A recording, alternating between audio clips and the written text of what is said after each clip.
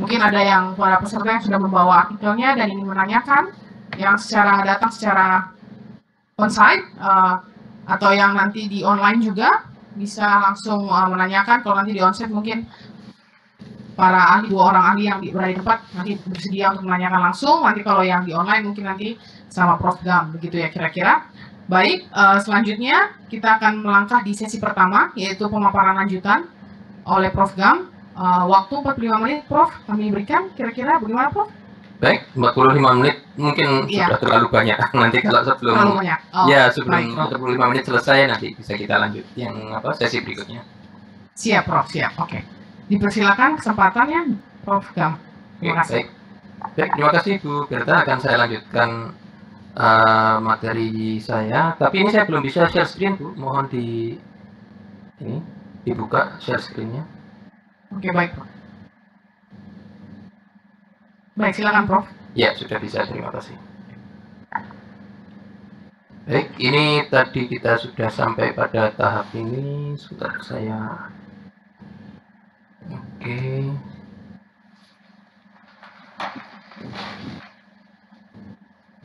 Ya, moga-moga sudah terlihat. Jadi ini adalah bagian terakhir dari uh, materi tentang uh, workshop uh, penulisan artikel ilmiah ya untuk jurnal IEEE khususnya untuk pemula gitu ya. Jadi oke okay, bagian terakhirnya adalah tentang hal-hal yang tadi masih belum sempat dibahas yaitu uh, conclusions, abstract, appendix, reference dan authorship. Ya, jadi kita lihat satu persatu ini tidak terlalu makan waktu lama ini.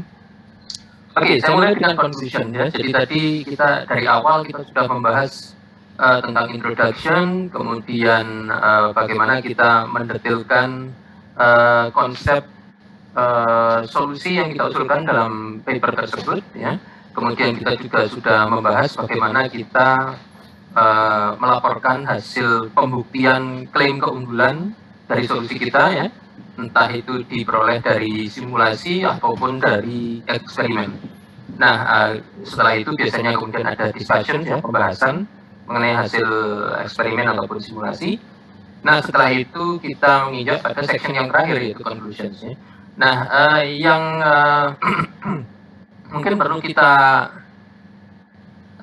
bahas di sini adalah bahwa uh, conclusions itu pada dasarnya adalah ringkasan dari poin-poin penting yang sudah diperoleh dari section-section sebelumnya ya. Jadi uh, tidak ada lagi proses berpikir sebenarnya ya. Walaupun nama uh, sectionsnya itu sectionnya itu adalah conclusions yang berarti kesimpulan ya, kesimpulan-kesimpulan. Tapi sesungguhnya kesimpulan itu sudah diperoleh dari uh, section sebelumnya, section-section sebelumnya sehingga di sini kesimpulan atau poin-poin yang penting itu tinggal dikumpulkan dan di state kembali, uh, apa, dinyatakan kembali di section conclusions. Ya. Nah, jadi tidak perlu ada pemikiran baru, tidak ada pemikiran baru dalam conclusions, karena semua aktivitas pemikiran sudah diselesaikan di section-section sebelumnya. Ya. Jadi dengan demikian, uh, conclusions itu pada dasarnya seperti merangkum hasil-hasil yang terpenting uh, yang perlu ditampilkan kembali di bagian akhir ini di, di conclusion ini untuk mendukung klaim dari penulis paper. Dan uh, oke okay, kalau kita terbiasa menulis skripsi atau tesis atau disertasi itu kesimpulan itu pakai ABCD um, saya membaca paper uh, banyak paper itu kadang-kadang ada yang masih tetap menggunakan uh, poin-poin A, B, C, D dan seterusnya, tapi lebih umum conclusions itu ditulis tanpa penomoran, ya. jadi ditulis dalam bentuk apa sebuah sebuah atau dua atau tiga buah paragraf gitu aja.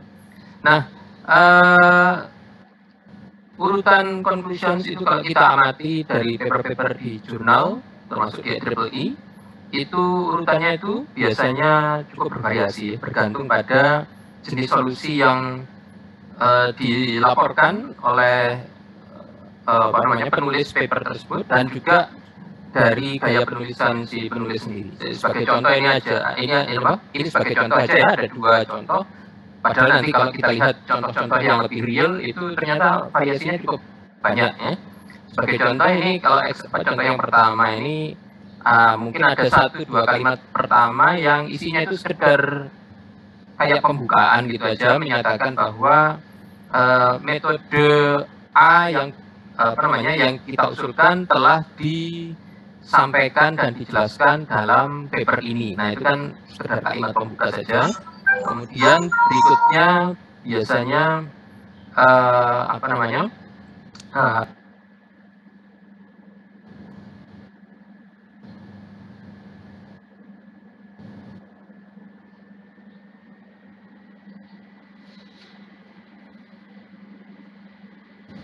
Oke, saya oke saya lanjutkan lagi tadi rupanya muted. Oke, jadi um, jadi setelah opening remark, uh, kemudian ada ringkasan konsep dari solusi yang diusulkan, kemudian ringkasan hasil-hasil yang penting, baik dari hasil apa simulasi eksperimen maupun dari pembahasan. Kemudian biasanya ada penekanan ulang, ya, penekanan ulang dari klaim keunggulan. Ini yang uh, biasanya penting. Ya.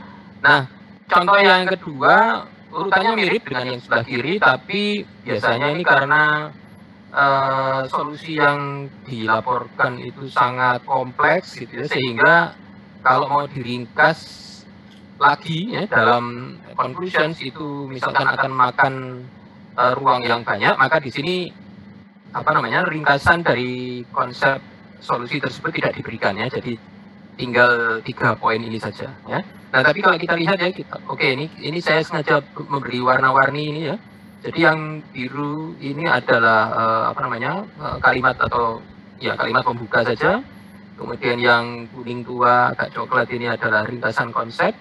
Kemudian yang hijau ini uh, apa ringkasan dari hasil pembuktian dan pembahasan. Yang ungu adalah pernyataan atau penekanan ulang dari klaim keunggulan. Nah, coba kita lihat satu persatu. Jadi ini biru, kuning, hijau, ungu.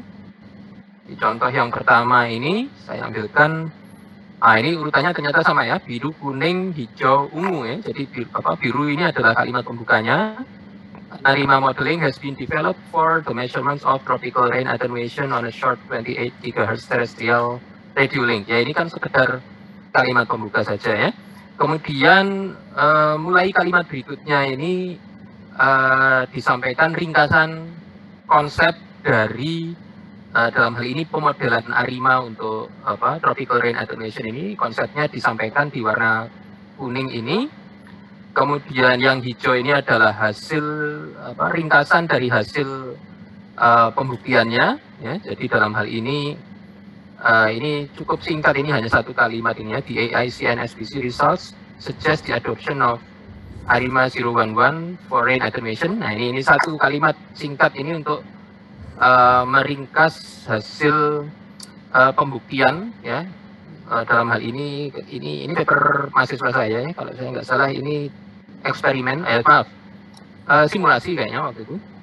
Nah kemudian yang warna ungu paling bawah ini uh, kalau kita lihat warna ungu adalah penekanan kembali klaim keunggulannya. Jadi kalau kita lihat, while the specific result we obtain might not be directly applicable dan seterusnya, the modeling procedure described earlier provides a general generic framework of ARIMA modeling. Jadi ini sebenarnya adalah uh, penekanan ulang bahwa pemodelan ARIMA ini apa namanya sesuai untuk apa pemodelan uh, apa namanya dalam hal ini rain attenuation yang sifatnya non stationary ya. Jadi ini sekedar penekanan ulang dari klaim yang dibuat oleh penulisnya sejak di introduction ya.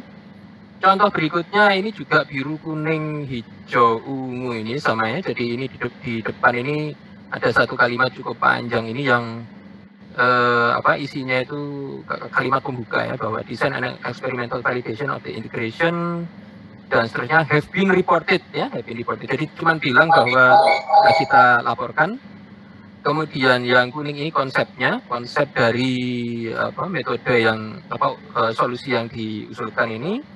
Yang hijau ini adalah ringkasan dari uh, hasil dalam hal ini eksperimen ya dari hasil eksperimen. Kemudian yang ungu eh, ini adalah penekanan kembali bahwa ini ya a, a strong and a prime and prime conclusion for using subrace can therefore be that the integrated optimized subrace are giving dan seterusnya ini ya. Jadi ini sekedar penekanan kembali dari klaim keunggulan yang uh, disampaikan oleh uh, apa, penulisnya sejak di introduction.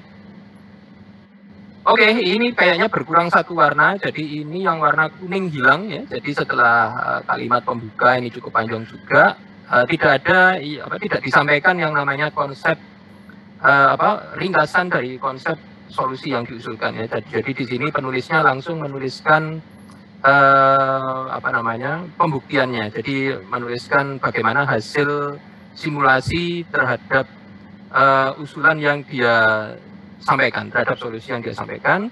Nah, yang agak beda ini ada warna baru, ini warna pink gitu ya. Nah, di sini rupanya paragraf terakhir oleh penulisnya digunakan untuk menyampaikan future work ya. Jadi uh, riset apa yang bisa dilakukan berikutnya.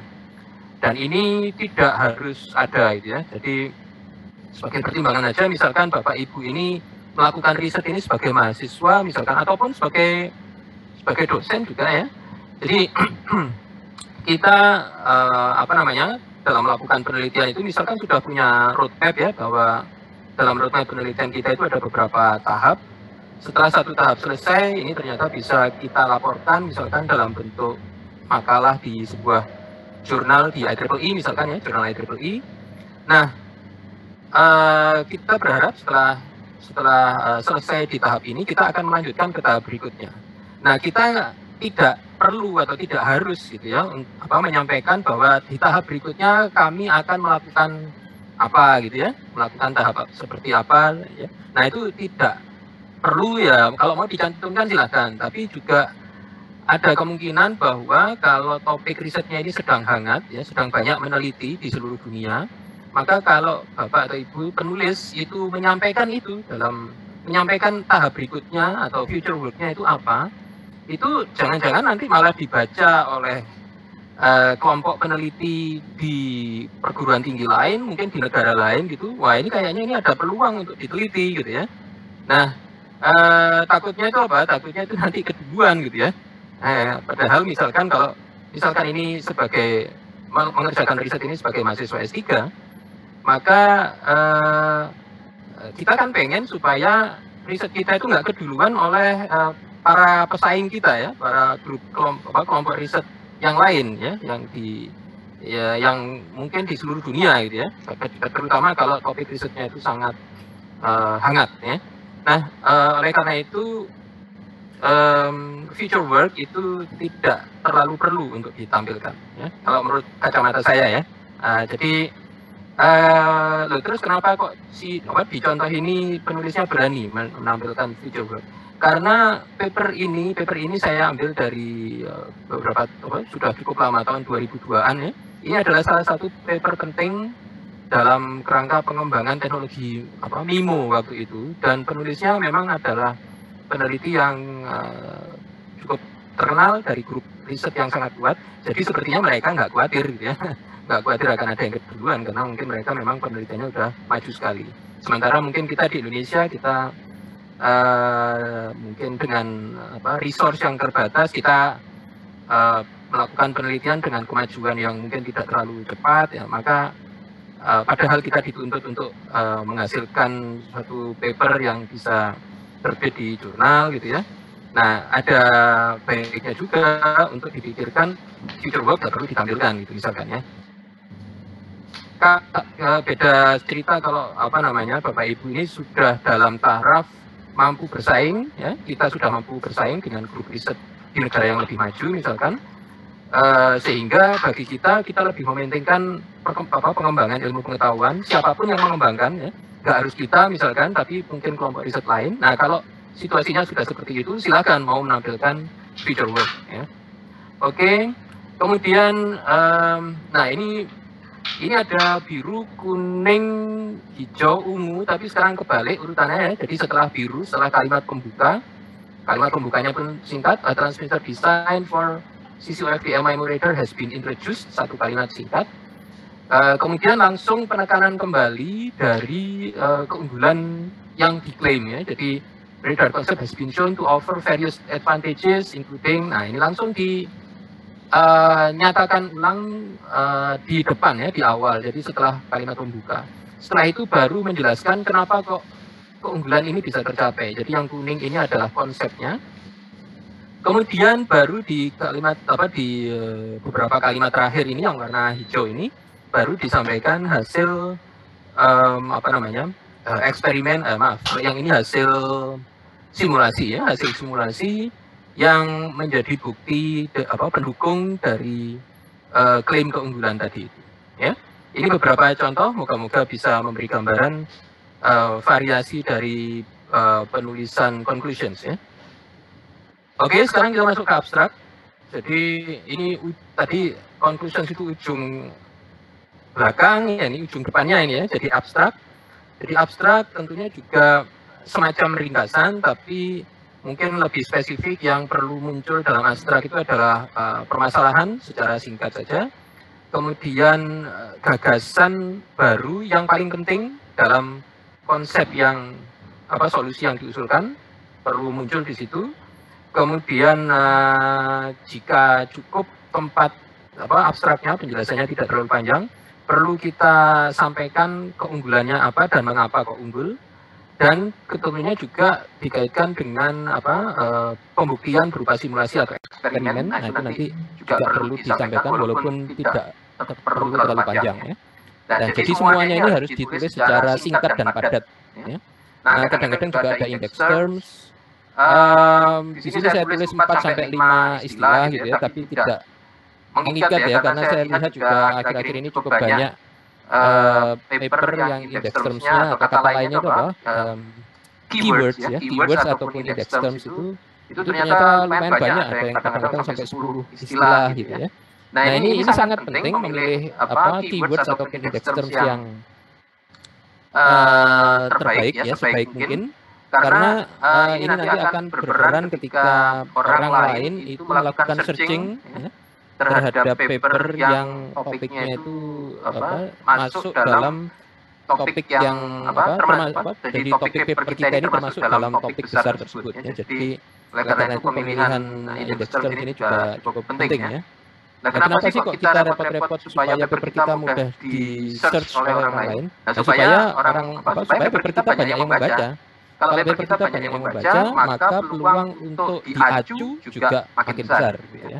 Oke, okay, jadi uh, ini terkait index terms ya, dan abstrak ya. Jadi kalau kita lihat juga sama seperti yang uh, sama seperti um, conclusion tadi, jadi ada bagian-bagian yang bisa kita kenali dengan mudah dalam sebuah abstrak jadi, Jadi misalkan yang paling atas biru ini, the Slater reports the result of modeling of the tropical. Nah, ini kan sudah seperti kalimat pembukaan tadi kan, jadi bahwa uh, paper ini akan melaporkan hasil pemodelan. Nah, itu kalimat pembuka gitu ya. The result obtained is useful for the evaluation. Jadi ini adalah justru di, di, di sini baru muncul latar belakangnya. Jadi latar belakang masalahnya itu adalah bahwa uh, uh, apa namanya model yang dilaporkan ini ini nanti akan bermanfaat untuk evaluasi desain sistem transmisi radio dan seterusnya gitu ya. Jadi ini adalah latar belakang masalahnya ya. Kemudian nah ini konsepnya baru dijelaskan di sini ya. It is research ready power measurement. Um, ya, oke. Okay. Kemudian yang bawah ini adalah hasil pembuktiannya ya, baik dengan uh, apa namanya eksperimen ataupun simulasi. Contoh berikutnya ya, ya jadi, kalau kita lihat urutannya beda ya. ya. Jadi kita ini biru kuning merah uh, ungu, ini kuning biru merah ungu ya. Jadi di sini kita lihat bahwa um, apa, latar belakang masalahnya itu muncul dulu ya, yang warna kuning ini. Scanning performance of wide angle scanning arrays is primarily primarily degraded by the limited angular profile. Nah, ini adalah latar belakang ini ya. Jadi rupanya masih ada permasalahan dalam kinerja scanning untuk uh, linear uh, dengan apa, sudut yang lebar ya. Nah, kemudian baru masuk ke uh, apa perkenalan terkait dengan metode yang diusulkan atau solusi yang diusulkan. This paper introduces an innovative strategy for compensating this degradation, tapi konsepnya sendiri ini, ini yang warna merah ini ya. Jadi setelah ini metode apa, solusi yang laporkan itu diperkenalkan, kemudian konsepnya dijelaskan, kemudian yang ini adalah ringkasan dari hasil simulasi ataupun eksperimen. Ya. ini kalau ini tadi kuning biru merah ungu, ini kuning biru merah ungu juga ya, jadi sama ini uh, latar belakang permasalahannya, kemudian ini memperkenalkan solusi yang diusulkan, ini konsepnya, kemudian yang paling bawah ini adalah ringkasan hasil pembuktian melalui eksperimen atau simulasi tadi. Nah, ini kalau kita lihat indeks ini banyak banget ini ya. Adaptive antenna, blast, equalization, dan seterusnya. Ya. Oke, okay, itu tadi uh, abstrak. Nah, nah, sekarang kita coba cek ini ya, sampingan-sampingan ini. Pertamanya adalah lampiran atau appendix. Ya. Nah, appendix ini apa namanya? tidak selalu ada gitu ya, tapi sering kali bermanfaat ya, bisa kita manfaatkan. Jadi apa appendix ini biasanya uh, umumnya ini digunakan untuk menyampaikan uh, materi ya, yang penting ya, materi yang penting. karena kalau nggak penting pasti nggak perlu dimasukkan dalam papernya. Nah ini penting, cuman kalau dimasukkan dalam badan, dalam tubuh paper ya, itu berpotensi akan mengganggu alur cerita. Jadi misalkan gini, apa uh, sebuah metode uh, baru, algoritma baru atau metode baru itu uh, sangat bergantung pada suatu hubungan antara dua besaran atau tiga besaran begitu ya dinyatakan dalam sebuah uh, apa, formulasi matematis gitu. Nah, nah padahal uh, dan formulasi matematis ini ini adalah uh, sebenarnya sebuah uh, penurunan yang baru gitu ya. Jadi hasil yang diperoleh dari penurunan oleh si penulisnya. Nah, tentu saja kalau uh, demi kelengkapan pelaporan ya, penurun, penurunannya ini mungkin perlu ditampilkan gitu ya. Cuman kalau penurunannya ini ternyata panjang misalkan sehingga ketika dilaporkan di dalam uh, badan paper itu ternyata malah mengganggu alur ceritanya gitu, ya, alur pembahasannya. Maka penurunan ini bisa kita taruh di appendix, sedangkan hasil akhirnya tetap kita masukkan dalam badan paper. Ya, ya, jadi bisa, bisa dilakukan uh, seperti itu ya. ya. Jadi dengan demikian kita bisa tetap melaporkan bagaimana teknik penurunannya atau bagaimana teknik pembuktian bahwa formulasi matematis tersebut benar misalkan yaitu dengan cara penurunan atau pembuktiannya kita letakkan di appendix ya. Nah, nah uh, ada, beberapa jadi dalam rangka pembuktian itu saya rasa Bapak Ibu juga sudah apa, apa namanya familiar ya. Ada teorema ya. Uh, ini adalah pernyataan yang apa diperoleh dari sebuah tahap-tahap pembuktian. Kalau lema ini adalah baru satu salah satu tahap dalam pembuktian teorema, jadi ini semacam teorema antara gitu, belum sampai ke teorema yang kemudian uh, nanti yang akan digunakan gitu ya dalam membuktikan kinerja solusi misalkan. Corollary ini adalah apa ya semacam hasil samping dari uh, suatu pembuktian ya. pembuktian. Biasanya menghasilkan teorema. Nah ini ada hasil sampingan gitu ya yang yang ikut terbukti gitu ya. Kemudian QED ini tentunya adalah apa, menunjukkan kesimpulan dari suatu uh, pembuktian formal ya. Ini contoh uh, appendix ya. Jadi jadi, di badan paper, di badan paper ini misalkan oh ini ada ada persamaan matematis sangat ruwet gitu ya. Ini di, hanya bisa disampaikan uh, hasil akhirnya saja.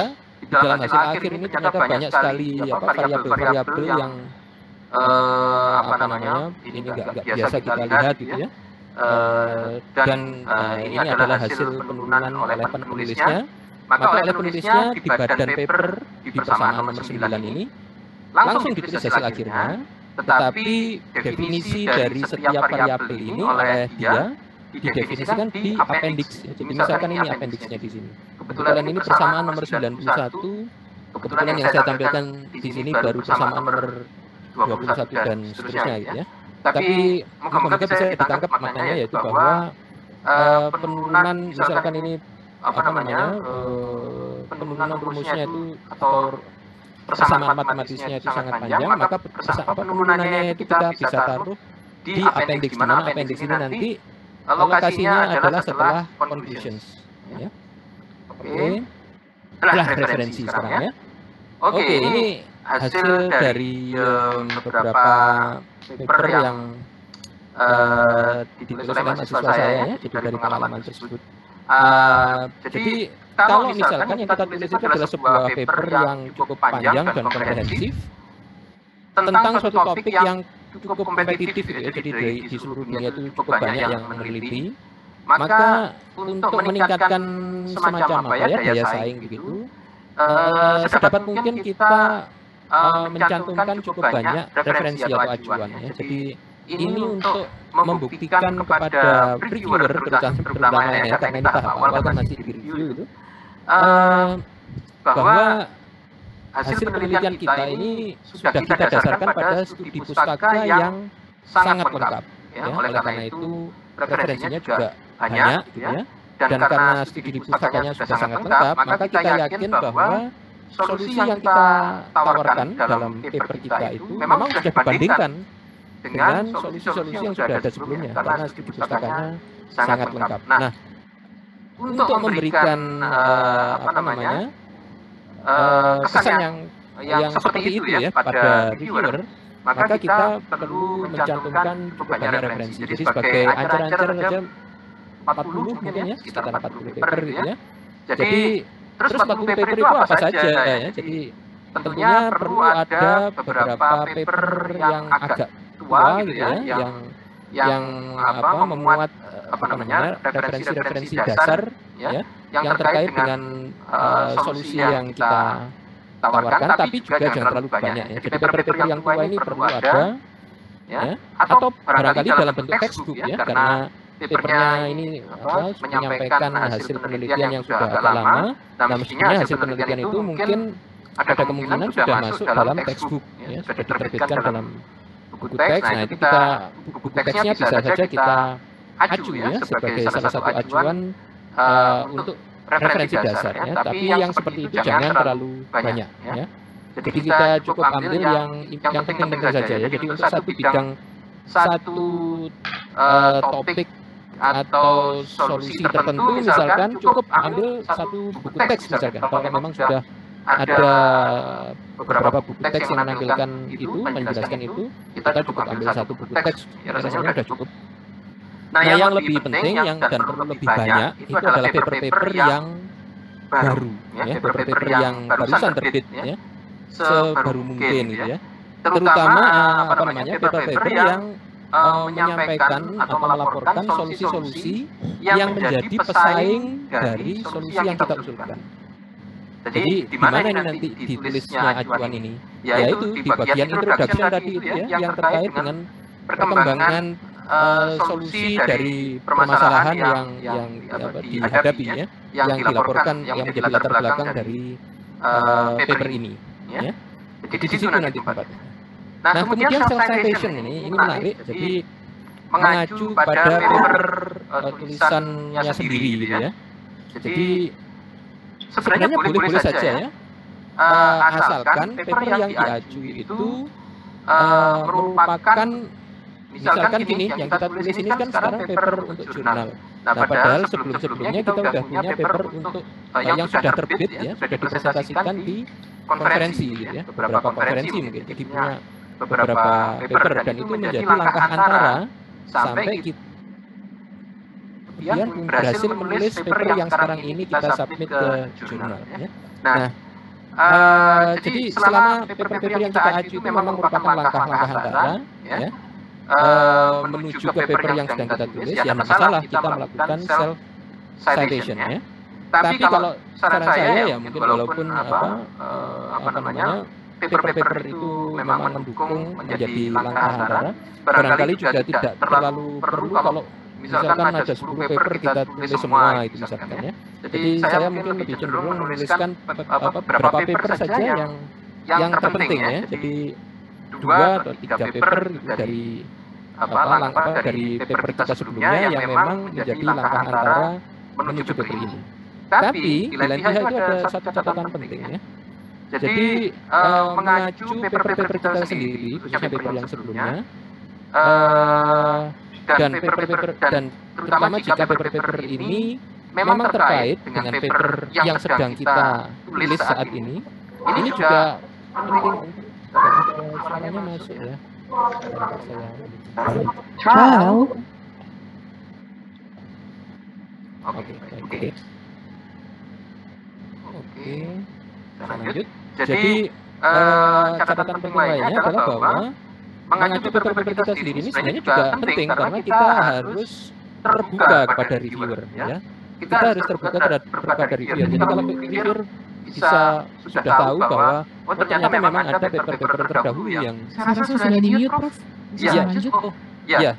Oh, Halo? Halo, sudah sudah terdengar suara saya? Sudah ya, oke. Oke. Ya, Ya, jadi jadi saya saya lanjutkan. lanjutkan.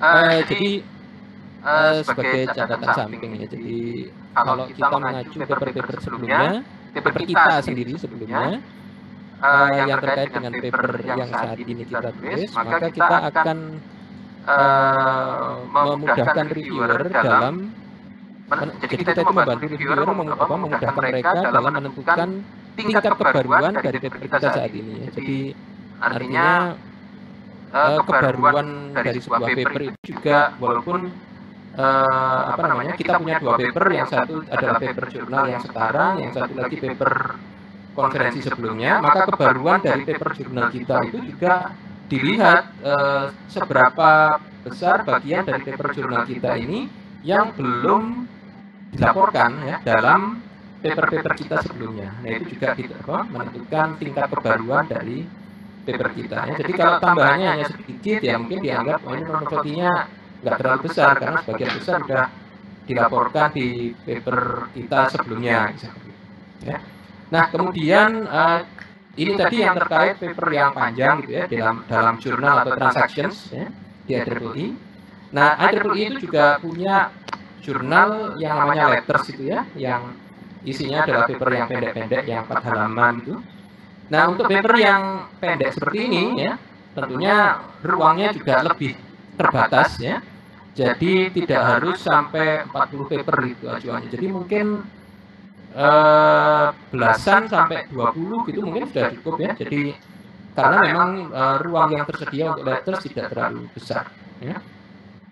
Eh, bagaimana penulisannya ini saya rasa tidak perlu di kita bahas tapi yang jelas ikuti panduan yang sudah disediakan oleh IEEE ya untuk penulisan makalah pada jurnal IEEE.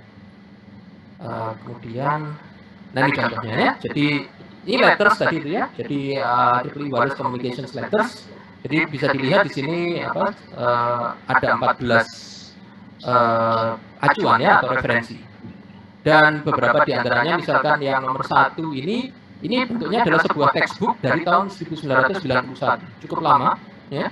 Jadi ini diambil cukup satu gitu saja sekedar untuk menjadi referensi tentang eh, top apa namanya eh, beberapa isu yang eh, sifatnya dasar gitu ya. Jadi statement yang sifatnya basic ya bisa kita gunakan seperti ini. Tapi selebihnya adalah jurnal-jurnal yang baru ada juga yang cukup lama misalkan ini 2005 2007 ini juga adalah eh, apa namanya eh, dari textbook ini juga ya.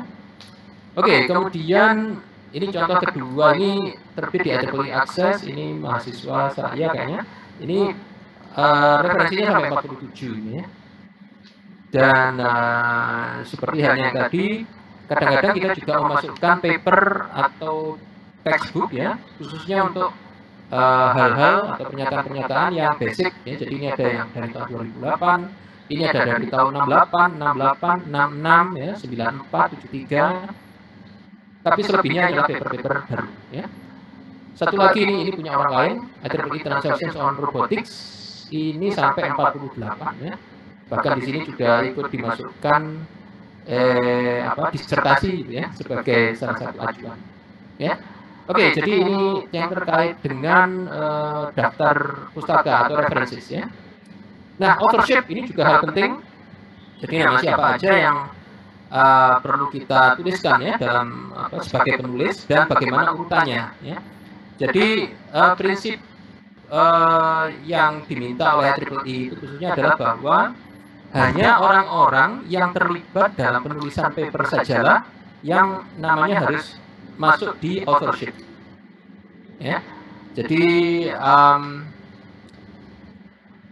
ya saya tidak tahu ya mungkin tidak ada yang seperti ini dan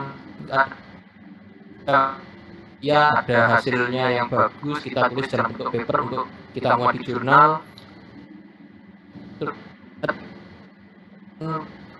Wah bab itu kayaknya butuh naik pangkat itu kayaknya butuh kum dari apa publikasi ilmiah. Oh namanya saya masukkan di paper sebagai penulis.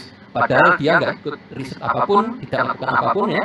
Nah itu sebenarnya ya tidak dikendaki gitu ya. Jadi itu uh, nanti uh, terutama kalau kita melibatkan apa penulis lainnya ya berasal dari instansi lainnya tentunya dia akan heran loh bapak ini kan nggak ikut dalam tim penelitian yang yang lintas universitas itu ya. kenapa kok namanya bisa masuk? nah itu itu uh, bapak ibu perlu hati-hati gitu ya. jadi tetap kita coba menjaga integritas gitu ya.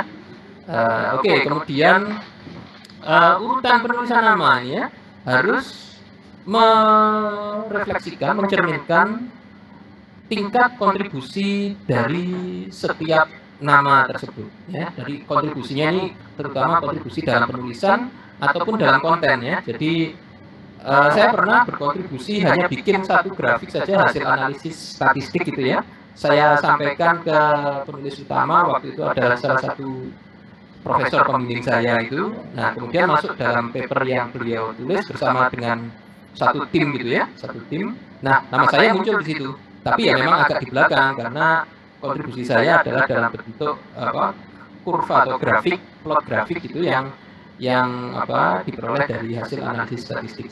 Hanya satu grafik tapi nama saya muncul karena memang ada kontribusi saya. di Kemudian, nah ketika Bapak Ibu mau memasukkan nama orang ya, memang orangnya barangkali terlibat tapi barangkali terlibat dengan kontribusi yang uh, apa ya di ambang batas gitu ya. Jadi sebenarnya namanya nggak dimasukkan pun nggak masalah gitu. Misalkan begitu ya. kemudian bapak ibu mema akan memasukkan nama orang tersebut gitu ya sebagai salah satu penulis uh, dalam tim-tim penulis itu ya. nah ketika memasukkan nama orang dalam uh, sebuah paper ya sebagai salah satu penulis selalu bapak ibu minta persetujuan ya dari orang tersebut ya jadi misalkan ada saya misalkan di kontak bukan di kontak saya ditanyain sama seorang mahasiswa gitu ya. Nah, kebetulan mahasiswa ini bukan bimbingan saya, dia hanya nanya mengenai bagaimana cara menulis atau melaporkan sebuah tabel ya misalkan. Ya saya ajarin ini caranya menampilkan tabel dan seterusnya. Eh tiba-tiba ketika paper paper yang ditulis dari hasil risetnya dia itu uh, disubmit, dikumpulkan ke sebuah apa konferensi atau ke jurnal itu, eh nama saya tiba-tiba muncul gitu ya. Padahal jelas bahwa mahasiswa tersebut melakukan riset di bidang yang sama sekali bukan bidang saya. Saya kan hanya ngajarin gimana caranya nulis nulis tabel dan seterusnya. Dan dia memasukkan nama saya itu tanpa bilang saya, ya, tanpa bilang kepada saya. Nah, kalau saya seperti itu ya saya saya nggak nggak setuju gitu ya. Karena pertama itu bukan bidang saya, kedua karena orang membaca bahwa nama saya di situ, ya ada kemungkinan orang yang kenal dengan saya akan bertanya tentang substansi dari paper tersebut. Padahal bukan bidang saya, ya saya nggak bisa jawab kan malah menjatuhkan nama saya gitu ya. Jadi demikian demikian pula kalau uh, bidang apa namanya dari paper yang saya tulis itu terlalu melebar, maka orang akan menjadi apa artinya uh, orang akan mengenal saya tidak lagi dalam bidang fokus saya karena karena kemudian kalau dicari di search di Internet Explorer misalkan ternyata nama saya itu muncul di berbagai paper dengan topik yang amat sangat bervariasi. Nah terus fokus kompetensinya di mana itu kan jadi ini ya. Jadi tolong untuk selalu uh, ini ya selalu meminta izin ya mohon untuk selalu meminta izin kepada nama orang kepada orang yang namanya mau kita masukkan dalam uh, sebuah paper sebagai salah satu penulis ya. Seringkali juga mungkin uh, ketika nama saya tiba-tiba masuk atau nama orang dimasukkan gitu ya. Nah orangnya itu sebenarnya mau protes karena loh, papernya itu jelek ya, masa nama saya dimasuk di situ kan merugikan saya, nah gitu ya. Jadi jadi apa selalu seperti itu. Kita harus minta izin. Jadi ini ada etika yang seharusnya selalu kita ikuti ya. Harus ada etika. Jadi ada integritas, ada etika itu dua-duanya kita ikuti ya. Uh, kemudian tentunya ada first author, corresponding author ya. Jadi oke. Okay. Nah, acknowledgement ini enggak terlalu penting ya. Jadi acknowledgement itu enggak terlalu apa namanya, bukan hal utama tapi penting juga sih sebenarnya ya. Jadi acknowledgement ini penting bagi pihak yang menyediakan uh, sponsor ya, sponsorship. Jadi yang menyediakan biaya apa dana untuk riset dan pihak yang sudah membantu dalam pelaksanaan riset tapi uh, apa namanya tidak ikut berkontribusi substansi maupun penulisan ya. Jadi apa, pihak yang membantu uh, melakukan pengukuran gitu ya, itu tidak berkontribusi substansi ya. Uh, jadi kita bisa mengucapkan terima kasih melalui acknowledgement ya. Nah, ini juga penting ya. Jadi yang saya lihat cukup banyak contohnya. Setelah selesai menulis paper, hasil tulisannya nggak dibaca lagi. Nah, ini juga uh, kebiasaan kita gitu ya. Jadi saya rasa kebiasaan yang baik setelah menulis paper coba dibaca ulang gitu ya. Jadi terutama kalau uh, sudah akan disubmit ya, sudah akan diserahkan ya. Coba kita selalu membaca paper kita kembali dari awal sampai akhir. Uh, bahkan jika mungkin ya, jika kita apa bisa gitu ya, berperan sebagai reviewer bagi paper kita sendiri. Nah ini memang agak sulit. Kalau itu sulit, coba dilakukan hal yang ketiga ini. coba minta tolong kolega kita ya misalkan teman dosen gitu ya untuk mereview paper kita. ya yang mereviewnya ya kita usahakan seperti reviewer beneran. jadi dengan ini tadi ya dengan uh, kita minta kolega kita tadi itu. atau kalau kita mau melakukan review sendiri kita coba menilai paper kita sendiri. ya memang sulit ya. jadi misalkan apa sih yang di uh, apa kontribusikan atau disumbang oleh paper ini?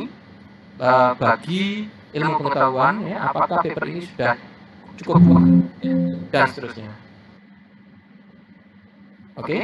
nah uh, jadi kita coba melakukan review terhadap paper kita sendiri ya nah kemudian saya ini sedikit ya karena uh, tujuannya apa namanya uh, jurnal yang kita bahas ini adalah jurnal IEEE maka satu hal yang cukup penting adalah memilih jurnal sasaran ya. Jadi mau kita submit ke jurnal mana? Pertama kita juga perlu melihat uh, jurnal itu berdasarkan sifat artikelnya ya. Jadi kalau makalah kita itu uh, apa namanya cukup panjang ya maksudnya mestinya di jurnal ataupun transactions ya. Kalau makalah atau paper kita itu pendek-pendek saja, misalkan singkat, gitu ya, ya bisa saja mungkin uh, tidak kita submit ke jurnal atau transactions, tapi cukup ke letters. Ya. Kemudian kalau paper kita ini sifatnya itu seperti mengulas, melakukan review, mungkin ada kebaruan tapi tidak sesignifikan kebaruan sebuah paper yang disubmit ke jurnal atau transaction, bisa saja kita tujukan ke magazine. Ya. Ini kalau dilihat dari sifat artikelnya tadi. Nah, kalau dilihat dari pengelolanya di IEEE itu ada uh, jurnal yang dikelola oleh society ya. Jadi semua setiap society itu pasti punya jurnal ya Kemudian ada juga yang dikelola oleh Council ya. Jadi kayak uh, IEEE Sensors Journal itu dikelola oleh apa Sensor Council. Ya, jadi uh, ini pengelolanya uh, ada juga uh, jurnal yang dikelola langsung oleh IEEE yaitu Proceedings of the IEEE itu adalah uh, apa jurnal juga tapi isinya biasanya itu berupa semacam tutorial atau uh, apa namanya overview gitu ya. Uh, apa istilahnya? Survei ya survei paper gitu ya biasanya. Kemudian kalau berdasarkan akses kita tahu ada paper, apa jurnal yang sifatnya reguler ada yang open access ya. Yang reguler ini berarti uh, hanya yang berlangganan saja yang bisa mengakses ya jadi apa namanya uh, orang berlangganan itu berarti pasti membayar gitu ya sehingga uh, uang langganannya itu nanti kemudian digunakan untuk apa, penyelenggaraan penerbitan majalah ya.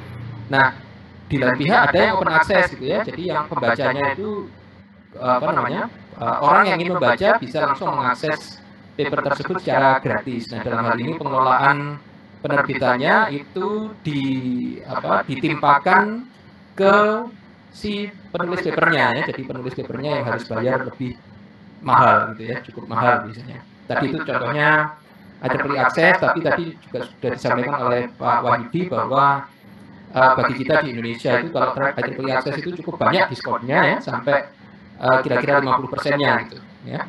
Kemudian berdasarkan skupnya ini uh, ini tergantung dari field of interest atau FOI, FOI dari society yang menjadi pengelolanya. Jadi uh, transactions on communications, transactions on wireless communications itu semuanya dikelola oleh communication society. Berarti pasti field of interestnya, jadi ruang lingkupnya pasti berada di seputar uh, bidang telekomunikasi misalkannya. Tapi juga kemudian bergantung pada ruang lingkup jurnal. Jadi kayak IEEE wireless communications ya pasti bidangnya telekomunikasi yang wireless gitu ya. Jadi kalau yang dengan apa misalkan dengan serat optik gitu ya nggak masuk di wireless communications ya misalkan gitu.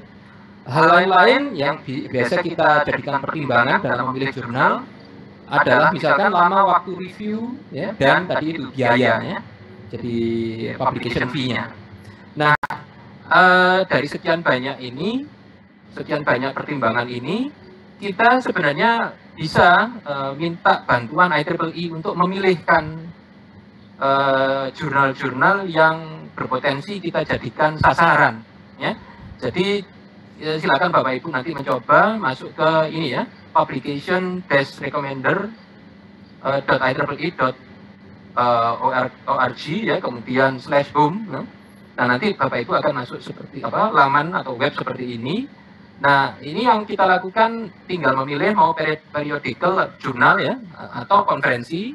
Kemudian kita masukkan uh, keyword uh, misalkan ya atau judul makalahnya ya. Uh, kemudian kita di samping itu kita juga bisa memilih memasukkan abstrak, misalkan nama abstraknya kita masukkan ke sini ya. Uh, kemudian uh, atau seluruh papernya langsung dimasukkan ke sini ya. Kemudian nanti uh, ada pertanyaan mau dipublish kapan sih sebenarnya gitu ya. Nah, kemudian nanti tinggal get recommendations akan muncul satu deretan satu daftar uh, publikasi um, apa jurnal ya yang berpotensi untuk kita jadikan uh, sasaran termasuk dengan informasi mengenai lama waktu review, uh, biaya ya kemudian apakah open access atau tidak ya dan seterusnya ya. Jadi silakan bapak ibu nanti mencoba ini ya. Oke saya rasa ini yang bawah ini sekedar ini tadi. Saya mau menunjukkan kalau di IEEE Explore kita masukkan Indonesia sebagai afiliasi penulis maka kita peroleh angka-angka ini. Jadi konferensi itu ada 25.000 paper jurnal 571 ditambah early access articles ini 31 kemudian yang masuk magazine 42 jadi itu kira-kira gambaran dari apa namanya partisipasi peneliti Indonesia ya di di apa jurnal uh, eh, IEEE dan konferensi IEEE. Nah uh, itu akhir dari materi saya yang tersisa. Nah untuk klinik, nah ini terlanjur saya tulis tadi, jadi saya tadi apa mungkin perlu janjian lagi nanti dengan Pak Wahyudi dan uh, Bu Lina ya. Jadi uh, kalau kita lihat ini juga banyak peminat yang uh, nge-zoom juga ya, yang online itu. Jadi untuk klinik besok, kalau misalkan ada yang uh, apa sudah punya paper, baik itu paper yang sudah jadi ataupun setengah jadi, gitu ya, harus belum selesai, itu silakan nanti disampaikan ke Pak Wahyudi atau Bu Lina, Prof Lina ya, atau bisa juga ke saya. Ya nanti mungkin bisa diatur gitu ya, bisa juga ke saya lewat WA misalkan lewat nomor tersebut. Nah nanti eh, mungkin besok kalau Pak Wahyudi dan Prof Lina bisa langsung menghandle on-site ya di di kampus Unipa. Nah saya mungkin bisa memilih beberapa draft untuk dibahas secara online di Zoom. Jadi nanti kita bahas bersama-sama gitu. Ya. Jadi moga-moga ini ada manfaatnya gitu. Karena kalau sekedar workshop kemudian selesai nggak ada manfaatnya nanti. Paling habis itu terus lupa gitu ya. Uh, nah ini mumpung ada acara workshop ini, kalau ada yang uh, memang sedang menulis paper, nah bisa kita bahas bersama di sini. Jadi besok misalkan kalau saya diberi waktu ya saya bisa membahas dua atau tiga draft paper gitu mungkin yang representatif untuk dibahas secara online gitu ya dalam ini. Saya rasa itu dari saya. Terima kasih. Saya kembalikan nanti ke Bu Berta. Silakan Bu.